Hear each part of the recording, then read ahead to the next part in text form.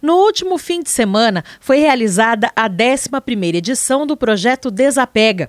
O evento visa promover o consumo consciente e é organizado por voluntários e quatro entidades parceiras: Lions Clube Caratinga Itaúna, FUNEC, Tiro de Guerra 04003 e Movimento Amigos de Caratinga. As atividades aconteceram em dois momentos. Durante a tarde de sábado, o público pôde doar objetos em bom estado que já não estivesse mais utilizando. No ato da doação, cada pessoa recebeu uma senha, distribuída pelos jovens do Tiro de Guerra. Já na manhã de domingo, as mesmas pessoas puderam levar para casa gratuitamente objetos que foram doados por outros participantes, mediante a apresentação da senha. É um projeto maravilhoso que conscientiza o cidadão da necessidade do consumo consciente, não é? Não ficar comprando aquele que não precisa. Vamos consertar o que está estragado, vamos tentar, né? Para não, para que não haja tanto desperdício nessa vida. Eu já quero agradecer a todos, todos que colaboraram. É isso que nós queremos transmitir à sociedade caratinga, à nossa região, uma educação voltada para preservarmos o meio ambiente e ajudar aqueles que precisam.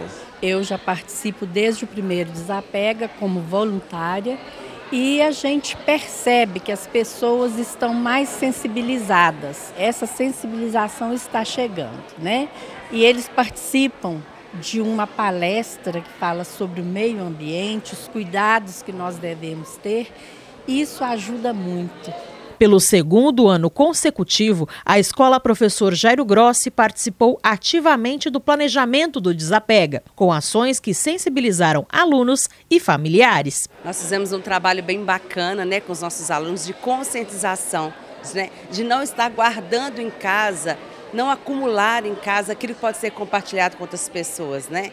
E aí a gente fez esse trabalho com a comunidade, os pais, a comunidade escolar como um todo, e aí está o resultado, né? O trabalho com o meio ambiente, isso é feito constantemente em nossa escola. Então, assim, é de imensa importância. A professora também, Elisa, fez esse trabalho de conscientização com os alunos, né, do ensino médio, os coordenadores da educação infantil, Fundamental 1, a equipe toda esteve envolvida nesse projeto e ano que vem estaremos aqui novamente. Para o diretor executivo da FUNEC, Sanderson Dutra, o evento reafirma o compromisso da instituição com as questões que impactam a comunidade. A FUNEC tem esse dom desde sua concepção de abraçar as causas sociais. Estamos aqui na 11ª edição do Desapega.